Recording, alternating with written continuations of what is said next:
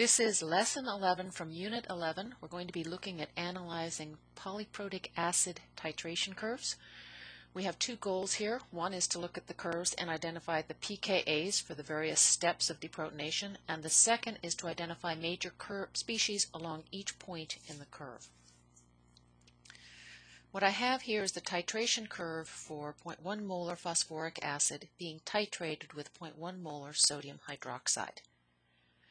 I've color-coded each one of the deprotonation steps to match up to the points along the titration curve. So let's start at the very beginning with just 0.1 molar H3PO4. So there's our initial pH of 1.62, even though it's 0.1 molar, and that's because we're at an equilibrium here.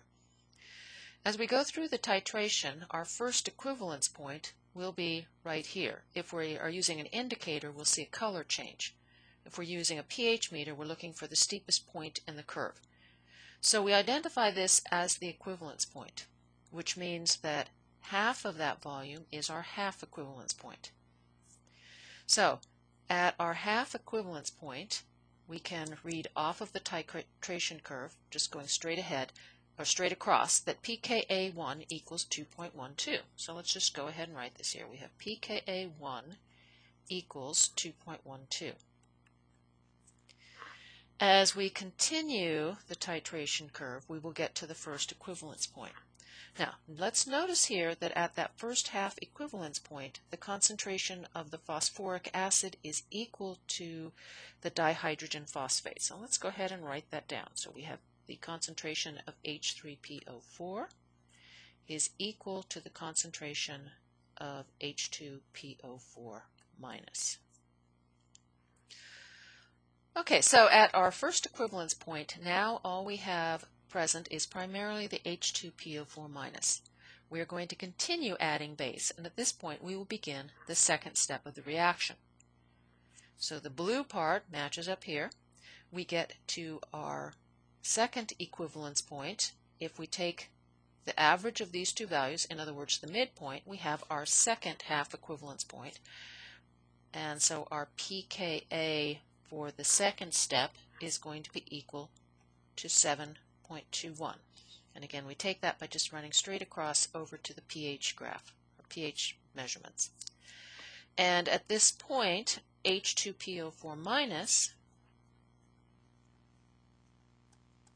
is exactly equal to our concentration of HPO4 2 minus.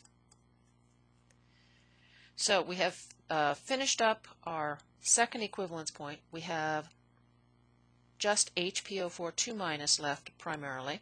Now we're going through the last deprotonation shown in green and there is our third half equivalence point where pKa 3 is equal to 11.66 and our major species that are present are going to be HPO4 2 minus because that's all that was present here and HPO4 3 minus.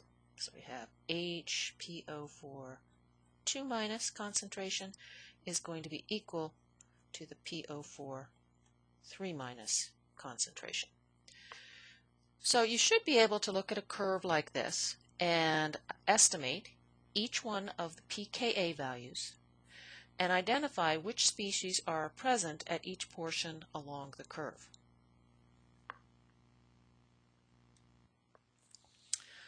So now let's consider the titration of oxalic acid with the uh, formula shown here. What you need to do is identify what solution was in the burette, what species are present in the following titrant volumes. So you're going to do what we just did with the titration curve right here. So I want you to pause and complete, and then we will go over the answers. Okay, let's go ahead and take a look at the answers. So the first thing when I started to look at these questions was I marked the various places that I could identify on the titration curve. So my endpoints were going to be in the steepest portions. So I had two different endpoints. And then halfway between each of those were going to be my half equivalence points that I could use to determine pKa1 and pKa2. The solution in the burette was sodium hydroxide. I know that because the pH started low. Uh, at 5 mLs, I am before the half equivalence point. Uh, the half equivalence point, I know that the H2C2O4 is equal to HC2O4 minus. So here, uh, I had to have, oops, I flipped that around. That should be going the other way. Let's get that straight. I put my caret going the wrong way. That should be going this direction. Okay, so I have more of the um, diprotic acid. At 15 mLs, that's the end point, so I should be just about done with this reaction here, so I should have only the monoprotic acid left. At 22.5 mLs, I'm at another half equivalence point, so I should have equal amounts of the monoprotic and the ox oxalate ion.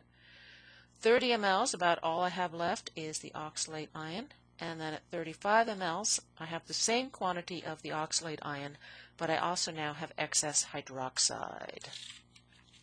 So uh, in terms of getting the value for pKa1, uh, I estimated that it was about 1.8, and then the pKa for the oxalic acid was about 4. The last question, what was the original volume of the oxalic acid? So when you have something like this, you can only use this MAVA equals MBVB if you're doing a one-to-one -one reaction. So I only want to go to the first equivalence point because this represents a one-to-one -one reaction. So I used 0.5 for my molarity of the acid, but that was specified, and then I had 15 mLs to the first endpoint, and just plugged things in, and I got 3 mLs of the H2C2O4.